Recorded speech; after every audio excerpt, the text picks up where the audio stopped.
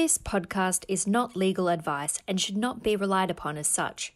You should always obtain legal advice about your specific circumstances.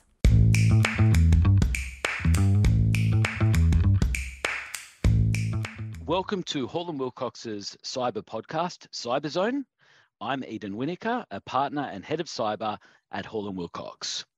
For season two, episode three, I'm delighted to be joined by David Lacey. David is the founder and managing director of Australia's leading identification protection service and not for profit ID Care.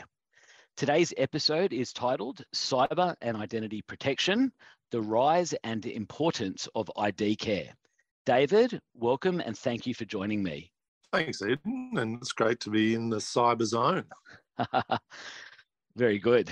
Now, David, to, to get started, I wanted to, to, to, to ask you this. You know, for many years, I've seen the name ID Care on the uh, Office of the Australian Information Commissioner or OAIC's website. Uh, listed as a service that individuals who have suffered a data breach can contact for assistance. Uh, we're going to come to that in a little bit. But before we dive into that, can you provide our listeners with the story about how ID Care was founded and tell us a bit about yourself? Yeah, sure. So ID Care, I guess, formally kicked off about 10 years ago. So in 2013, I was working in the Commonwealth Government at that stage and, and working principally in a function that was targeting organised crime, committing uh, most abhorrent cyber crimes and, and data breach events against our community. And at that stage, the Attorney General uh, asked whether there was an interest in doing a bit of a feasibility study on what uh, the community might need by way of remediation and, and support. So after 10 years of, of really interesting work working in the government, uh, I thought it was a good opportunity from a career perspective to kind of uh, turn my mind not to the criminal but but to the victim.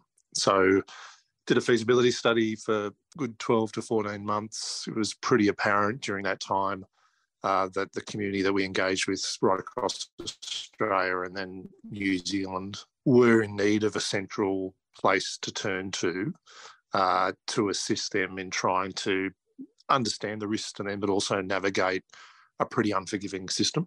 And then the question that was asked at the time really was should it be within government or should it be independent or external to government? Uh, should it be commercial? So all of those considerations were made at the time, and, and where it all landed really was uh, surprisingly from the government representatives on that steering group was it should be outside of government. It should be an independent voice. It should have uh, an arm's length from government because government, in a way, uh, had a pretty critical role in terms of response, but as did the private sector. So a body that kind of sat out of that was was the recommended path, and that's the journey we took. And and it was it was the right decision reflecting on it. You know, it it, it sure there is I think one in four dollars that comes into ID Care comes to ID Care because we're delivering services to government. There are people from government that are on our board, uh, but by no means is the government kind of saying, and ID Care, you need to say X, Y, and Z, and ID Care, you need to do this. It's a very hands off uh, relationship, which has been preserved now for a good decade, and, it works. So, so that's that's the history. We launched in 2014 formally. Uh, 2014, we had our first data breach come in. Obviously, since the legislation changed in the Commonwealth in 2018, there's been a rapid uh, increase in the number of people that are coming to ID Care because their data's been breached but it's not everything we do. We support victims of scams. That's probably most of the work. We support people who have no idea how criminals got their data and are experiencing extreme misuse. Uh, and we obviously support people that are being notified about data breaches and, and what that might mean for them. That's, I mean, that's an incredible journey. And, you know, when you think about the current, the state of affairs in 2013 when it came to cybercrime data breaches scams compared to now it's really exploded over that decade. And uh, just for, for the benefit of the listeners the reference to the commonwealth law that came into effect it's the that was the mandatory data breach notification laws that came in in uh, february 2018 which uh, really required, from a Commonwealth perspective, notification by companies who've had a data breach to the Office of the Australian Information Commissioner and affected individuals when it met a certain threshold. That that's I mean that that you raised a number of really uh, interesting and important issues there, and one one that I think I wanted to ask you about is really what criminals can do with stolen data. This is something that that clients ask you know also friends and family might you know knowing knowing the area that i practice law in they'll, they'll sort of say well what what can criminals do if they've got my name and, and driver's license number you know someone in your perspective will be particularly well placed to talk to this so from your perspective what are the risks posed to individuals who have had their personal information accessed or published during a data breach yeah, the risks are multiple and it's not just financial. So, one of the things we've learned over the last decade is the risk environment changes. And if anything, in the last 24 to 36 months in particular, we've seen really the weaponization of personal information. So, we've seen a growth in ransomware attacks, so threat actors obtaining access to organizational systems, exfiltrating data, not just encrypting it uh, as part of that ransom, you know, uh, threatening to release that information publicly. And we've seen examples of that in recent times in the most abhorrent way. Uh, now that that's been an evolution that hasn't, you know, just appeared. It's it's been building for some time. How criminals can exploit the personal information of someone it comes down to a few things. One is obviously what is the information that's been exposed? If it's a government issued credential and it's a photographic credential that's leaned upon by many organisations to determine whether someone might be eligible to a product or service in part, then that that presents a higher transactional risk. But that having said that, even the type of product or service that we see criminals exploit changes. So we've seen, particularly in the last two years, buy now, pay later and cryptocurrency wallets gain prominence in terms of identity exploitation, whereas prior to that, we really didn't see it. Um, the mainstays you would see would be unauthorized access to financial accounts, again, depending on what information is exposed, the exploitation of payment cards, uh, application of personal loans, uh, telecommunications service offerings being exploited. The, the list is quite long, but if, if anything, it, it does change in terms of what criminals are emphasising and exploiting. And the flip side to that, which is equally important and equally important for incident responders, is the response system changes. So there are risks that can be treated ahead of notification. There are risks that the impacted person can only treat, and there are some risks that can't be treated. And maintaining a knowledge of that is is a is of critical importance. It's something that is ID Care's bread and butter. The last thing that we need to do is to provide someone that comes into ID Care the wrong advice. And so we need to make sure that we've got a team of people that are constantly testing our response system affordance and that's another reason why we're independent of government, because part of the response system affordance comes from government.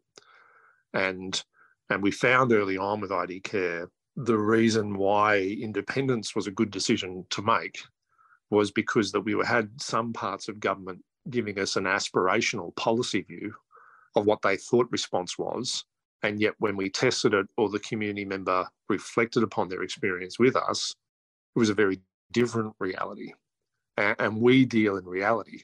We need to prepare people for that uh, real experience they're going to have, not just the aspirational policy goal. Yeah, absolutely. Absolutely. I mean, one thing I think that that's really helpful to, to understand, and that that's uh, not dissimilar to, to the answer that I give. It. It's it's really you know understanding what's going on, how how data you know, or the, the use of it by criminals has evolved over time, and you know, I think the, the, the, key takeaway for me is that organizations of all sizes really just need to do their best to protect the information. Um, that's the starting point, and then and then really make sure that they're there to help the individual if something does go wrong. Now, I think you, you touched on this before. That that is sort of the different types of services that that ID Care offers. Um, you know, for, for many people listening, they will have heard of ID Care. Some won't have. Can you Can you provide a bit more detail around the, the, the, actual services that ID Care provides, and, and how do how does the organisation help people who who get in touch with you when they're the victim of, let's just say, a data breach, and we can also look at scams, which are just prevalent at the moment. But from a data breach perspective, what are the sort of services that ID Care offer, and how do you support the individual? Yeah, I think first and foremost is a place of expertise that people can turn to to understand well if this is the information I've been notified that's been exposed from an ID care perspective, what does ID care see are the risks and what are the response affordances available to me at this particular point in time? And that that that service can't be understated because of the evolution and and and how things do change over time it, it's it's an unforgiving role in some respects in terms of responding to people that have been notified about a breach uh, in relation to case management, which is our core business. So that's the provision of somebody that has expertise that can have a confidential conversation with an individual about their concerns and needs because we can all do as much work as possible in trying to understand the risk to people and what the remediation options are but you'll always have someone that has pretty unique circumstances that may not be predicted. And and that could that could relate to things that you and I might think is quite innocuous when it comes to a breach. So a name and a address you can't get a personal loan with someone's name and address. You need other details. But for some people that is actually enough for them to experience serious harm because there might be good reason why their address should be concealed. So so having an outlet that can have these conversations in a confidential way where people aren't judged, it's not the organisation that's responsible for the breach. It's an organisation that's independent of that. Uh, is a is a valued service. We also, for other victims of personal information compromise and exploitation, such as scam victims, extend support via cyber first aid. So we have a team that uh, look to remediate devices for individuals uh, without charge to them. And we get these horror stories coming in where people are saying, well, you know, X organization said I had to take it to the IT shop. The IT shop charged me $1,300 to do a factory reset on my phone. You know, it's it's the Wild West. So so we, we've we've worked with government to look at ways of which we can provide the community with a cyber first aid service with the blessing of the client to have a look at their device and have a look at their device not just from a malware perspective, because most scammers aren't using malware, but look at the things that we know scammers do on devices, such as create uh, hidden account access points, have remote access software persistent in the background without you knowing it, create email forwarding rules, do all sorts of things that your antivirus provider won't won't pick up, and yet will still render the device at risk. So Cyber First Aid for us started really with survivors of family and domestic violence coming to ID Care concerned that they were being surveilled or there was spyware or other types of applications on their device. And we developed a, a service around supporting members of the community that were fearful of that. And that, by extension, then became the basis for us to look at scam victims and, in particular, scam victims that had provided remote access to their devices. So, so the thing that kind of keeps me really motivated with ID care is that it, it's not, not static. It keeps evolving and it evolves to, ironically, the threat actors' different forms of exploitation and the response systems are constant changing. And, and it's kind of never the one set of rules or advice that remains the same. It, it, it continues to evolve. Yeah, I, I, mean it's a it's a really a terrific service. The the the horror stories that I've heard in my day to day from just you know whether it's businesses or, or individuals who have been scammed or defrauded or victims of data breaches you know sometimes in the most you know horrific of circumstances and, and, and real concerns about their address being impacted what that might mean for their safety or well-being. It, it really can be you know very difficult situations and it's, it's great that there is an organization out there helping helping the individuals I wanted to sort of turn the focus away from the individual for a moment and and and to corporations or to organ you know big business uh, and then also just just then to come to SMEs but you know ID ID care's name featured during the responses to you know, the largest data breaches we've seen in recent memory in Australia. And by that reference, I'm talking about Optus, Medibank, and Latitude. Uh, and, and we don't need to get into the specifics of, of any of those three, but uh, uh for all three of those breaches, uh, you know, ID care was offered to, to impacted individuals. Uh, uh, and, and, and, and those are breaches, you know, dealing with millions of potentially impacted individuals. So I think it's fair to say that ID Care is the clear market leader when it comes to identity protection and counselling services in Australia following data breaches. Before we dig into a few things I wanted to ask you about those matters, what are some of the factors that have allowed ID Care to have so much success? You know, really to, to be in the position where you're being, you know, your organization is the one that's being turned to by these large corporates. And and also what are some of the challenges you've seen along the way?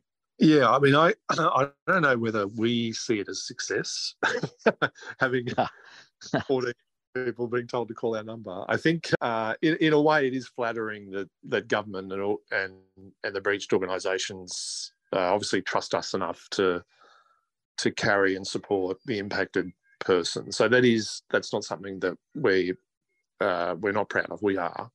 I, I think part of the reason why we're singled out probably goes back to one of our core foundational values, and that is our independence. I think people, when they're receiving breach notifications from organisations, some will look at it and not think it's real. Others will kind of look at it and just park it and, and you know hope for the best and not do anything. Others, though, will be quite interested, and those that are motivated to pick up the phone to have a discussion with ID Care, ironically, will want to just validate what's in the notification letter and will kind of want that more independent view on on what it means for them. Some some may confuse ID care with a breached organisation and, and let our poor staff have it, and hmm. and uh, you know that that can be a quite uh, uh, thankless role for our team who are at pains at saying, well, we're not the breached organisation, but we can, and and are more than happy to provide support and insights as to what it might mean to you. So I think I think the value of that service today is amplified because I think uh, the community since September 2022, half our country has been breached. Mm. Half the country has uh, received notification or w- will shortly uh, that their personal information has been breached. They see they see the government credential side of that some are reflecting on, well, why is government letting this happen, or why are my government ID documents used in this way? And so there's a tainting of government, uh, as well as obviously a, a, negativity towards the breached organisation on why they might have hung onto my details for so long, or you know, how did this happen? So we sort of swim in this lane that's uh, arm's length of that, and just gives people an outlet. And for the big breaches of the multi-million person magnitude, then then part of our response is a digital one. You know, it's to give them a place online to go to to go, well, what does ID Care reckon? You know, what's the advice ID Care is providing today? And sometimes that's consistent. Sometimes that's inconsistent with government. You know, we saw with Optus government, you know, no shortage of ministers lining up and being in the hmm. media giving all sorts of advice. And and we kind of stayed true to our values and you know, there were times where I'm sure government wanted us to say different things, and we we kind of resisted that. Yeah, that that that independence is is a critical factor, and and not sort of I guess being on on either side of politics, but just being there for for the individual to help is is a really important thing. I mean that that that leads to a sort of a follow up question, and I've probably got a few on this topic, but I guess you know dealing with millions of people being told to call your number. Uh, you know, I, have you know I work in in in this space. I you know my my firm we have an incident response hotline that that clients contact if they've got an incident and we've got a team that sits behind that hotline to get in touch with people to, to offer them assistance and sort of project manage the response and provide them with legal advice. You know, how, how big's your team? How do you how do you deal with the likes of an Optus or a Medibank telling millions of people to call your number? Do you need to go out and hire? How, how do you actually deal with it?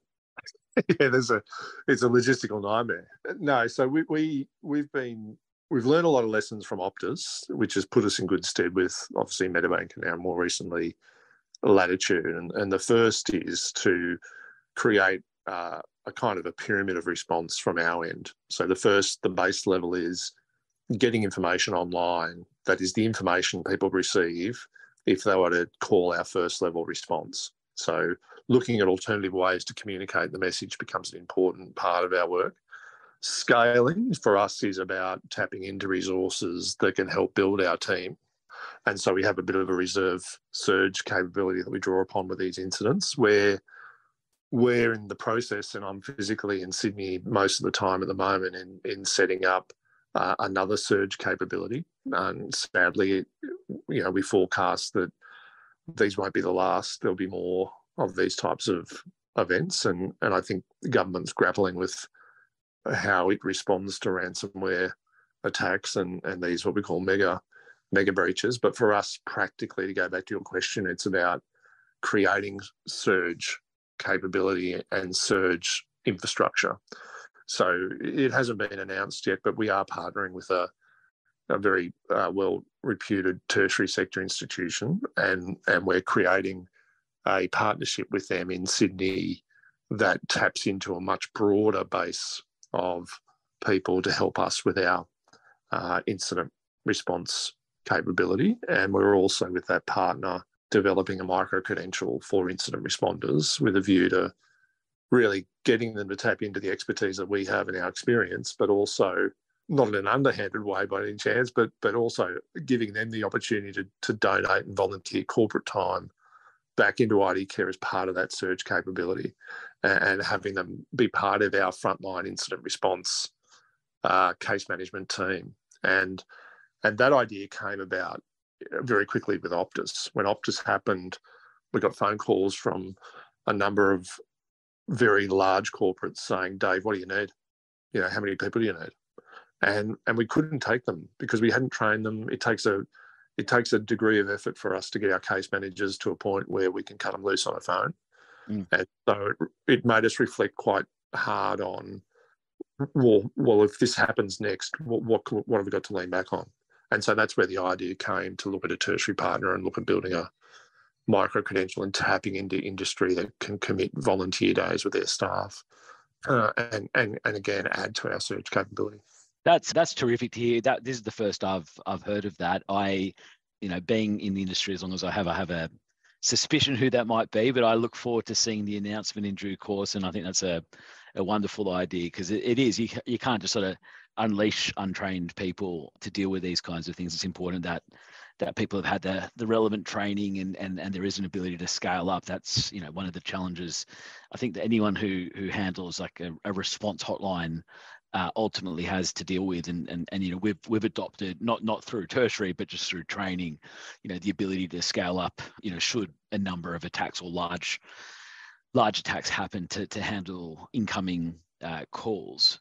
You know, I think so, something that might be of interest to people is is really what the the take up rate is that that you know you see and appreciate it would really depend, I, I, suppose, on how public an incident is, how many people are impacted. But you know, if you have a breach of say a million people and it's you know it gets into the papers, but it's not dominate dominating the nightly news, you know what what you know, from a million people, I mean, how many people do you typically find actually contacting the organisation?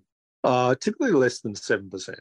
So what what there's a number of things you know influence that result. So the media, in part, is some of that, but we find breaches involving employees have a much higher engagement rate. We find that the comms, the actual notification itself, will largely influence the uptake rate. So if the comms are lacking in precision or, or lacking in sufficient detail, then more people naturally will be engaging and going, what does this actually mean for me? So mm.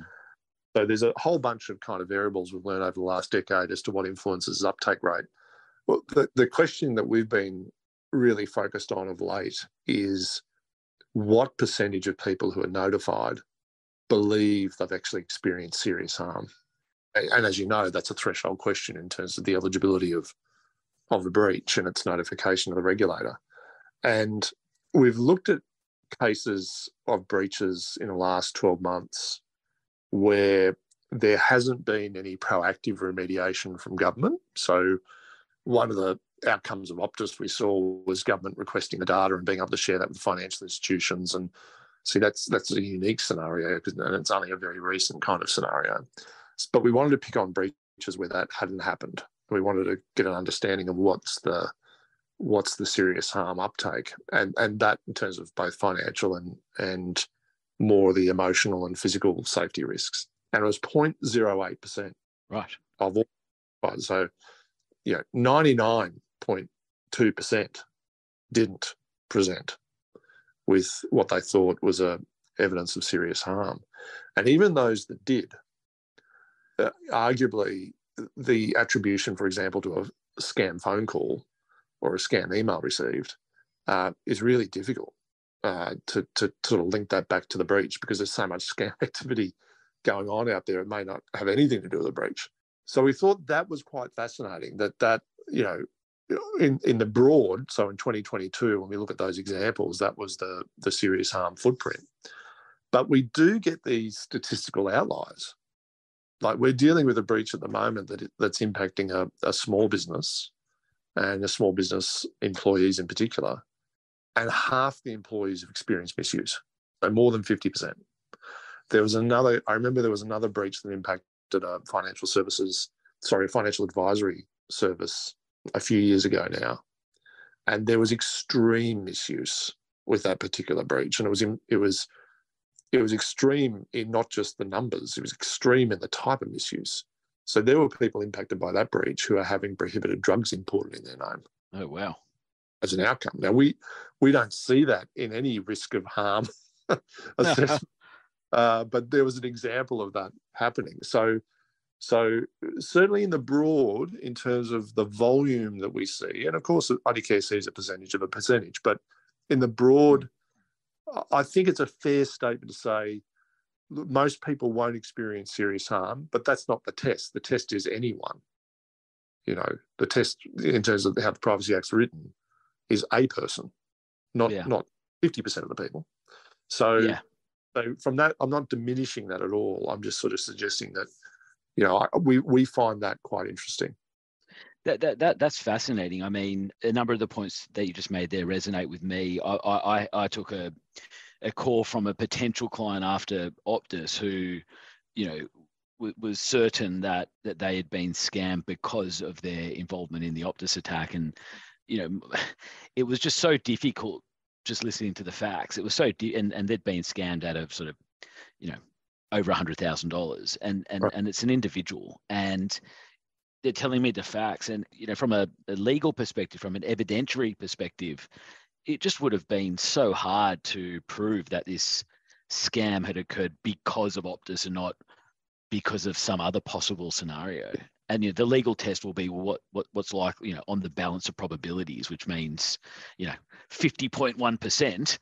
But even then, it's just the the possibilities are are endless when it comes to how scams can take place. It, it, it's really often difficult. I mean, the example that you gave about a, a, cohort of employees and presumably tax file numbers and the like were uh, impacted, and and if you can sort of see it's all coming from one breach and a number of people are impacted in a similar way, it's a lot easier to assess. But but tip, that that's really an outlier, like you said. That that is not a common occurrence, and it can be really difficult to attribute a scam or a fraud to a particular event. So yeah, I'm seeing that from from the legal side. It happens all the time. I mean, we always want to try and help uh, impacted individuals out uh, where we can, but it, it, it, does you know present a number of challenges uh, and then just just for, for the benefit of the listeners yeah the david mentioned the legal test under the privacy act as it's currently drafted and that is you know where there's access to information or disclosure of information and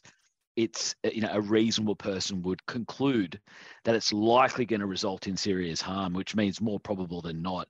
That's the threshold test. And yeah it's difficult. I, I, can say david i've never advised anyone that a risk of them being impacted is that they're going to start importing drugs or drugs will be imported in their name. So that's a new one. I've never heard that in all the years i've done this. So um, that that's fascinating you mentioned sort of some of the smaller organizations and i think that's a really important question here because you know we've talked a bit about Optus and, and, and Medibank and, and Latitude. These are really large businesses who have you know extensive resources behind them. They might have the benefit of insurance, although not not all do, as I understand. Uh, and I guess what I'm interested in is, you know, where you have a small business that doesn't have significant resources behind them, you know, for, for the benefit of the listeners, ID Care is a not for profit.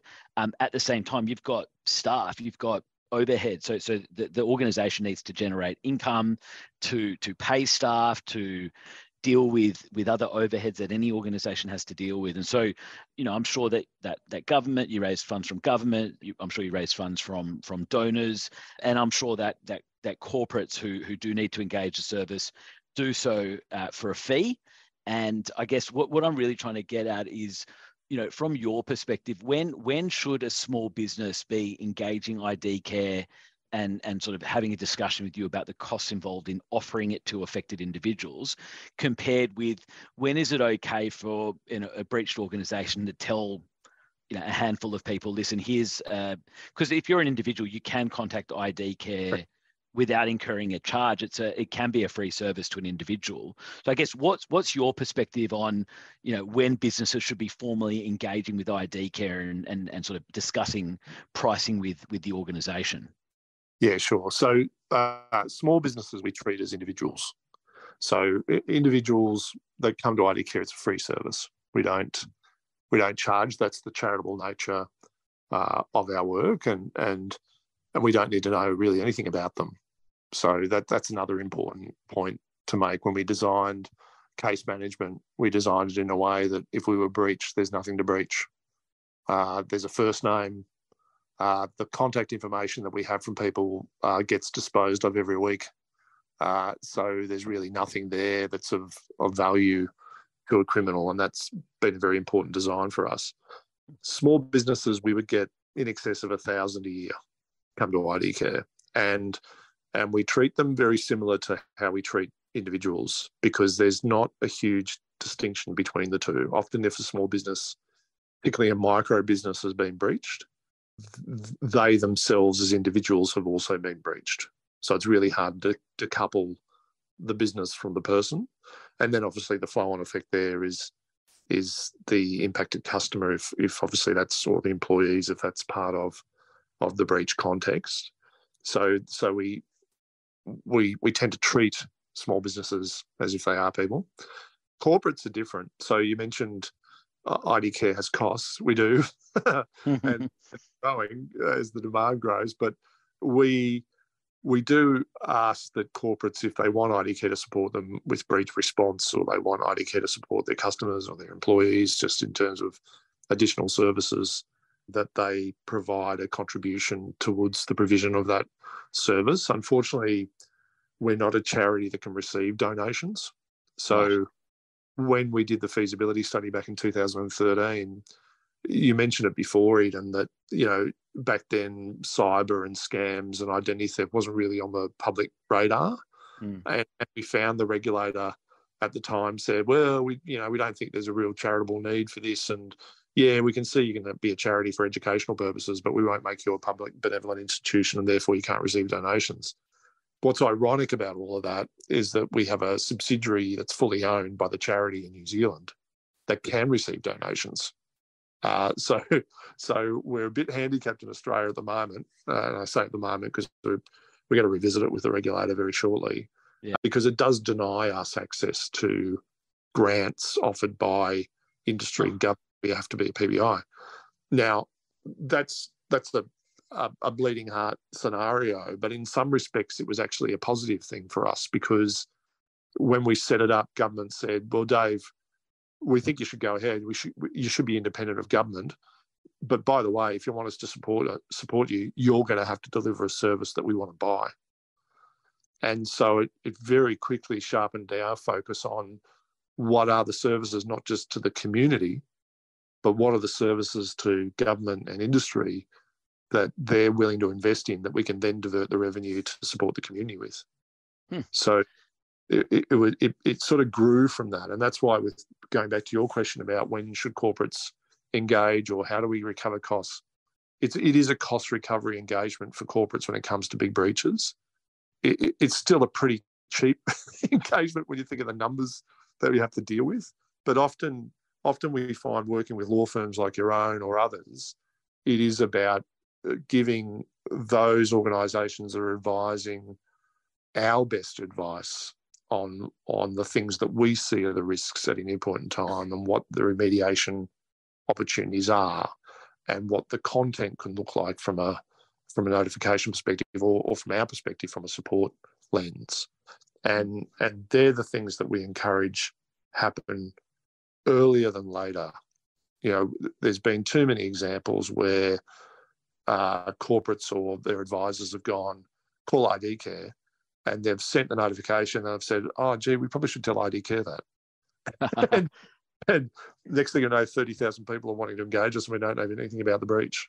Yeah. So, you know, our, our advice and response to a question along those lines is please use us for what we see. There's no other place in the country that has the volume coming through that can really give you the heads up on what's happening today and, and, and what are the response considerations uh, for impacted people.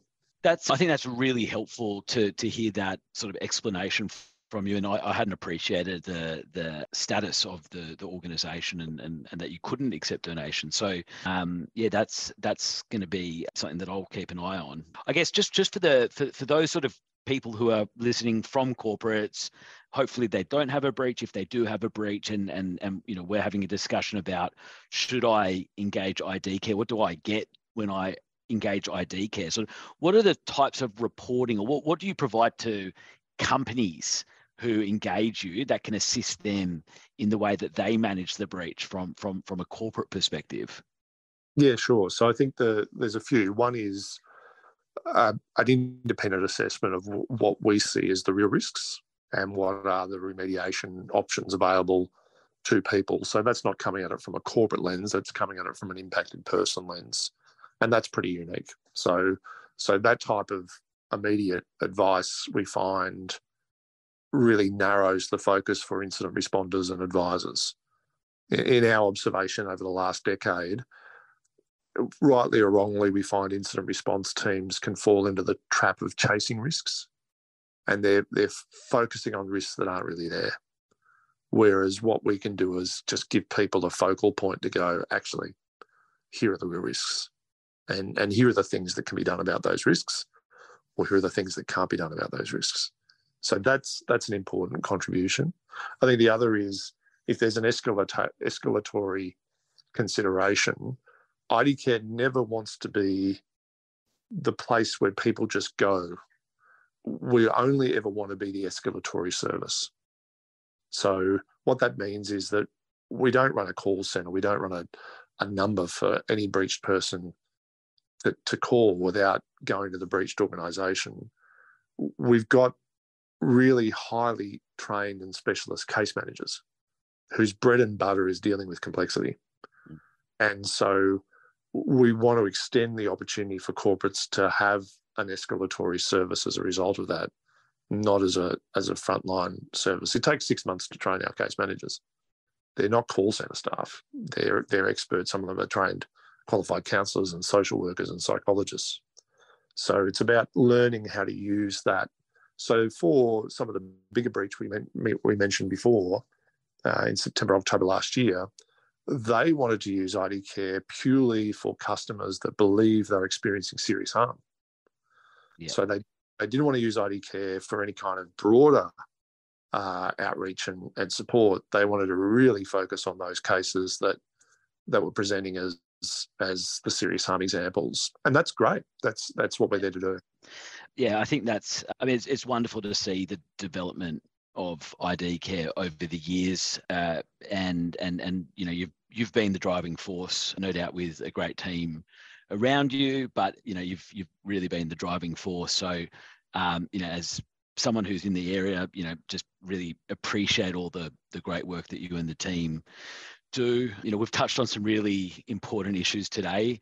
Really, I mean, we didn't even sort of dive into things around, you know, how much data should should businesses be collecting. I think you flagged that issue, and you know whether you know government IDs should be used to sign up to, you know, absolutely everything. You know, we've touched on the history of ID Care and how it came to be and, and, and the risks that, that individuals face, how you support individuals, you know, the way that your team operates. I think it's been an incredibly insightful uh, discussion and just a really big thank you for taking the time uh, to come and speak with me today and, and, and share your experiences and uh, wisdom with, with those who listen. So really appreciate your time, David. For, for anyone who wants to, to know a bit more about ID Care and read about the different services and you know about the team and so forth, the website is idcare.org. Uh, and, and, and, and there's lots of really uh, helpful information there aside from that, if anyone has any questions about today or um, would like to get in touch with me, I'm on LinkedIn or you can get in touch with me. My details are at the Hall and Wilcox website, which is hallandwilcox.com.au. Uh, if you enjoyed today's episode, please rate, review, and follow our podcast on whatever platform you listen. Uh, you can subscribe on the website to be notified of new episodes. Thank you, David. Thank you, everyone, for listening. Uh, stay cyber safe. Thanks, Eden great to be in the zone.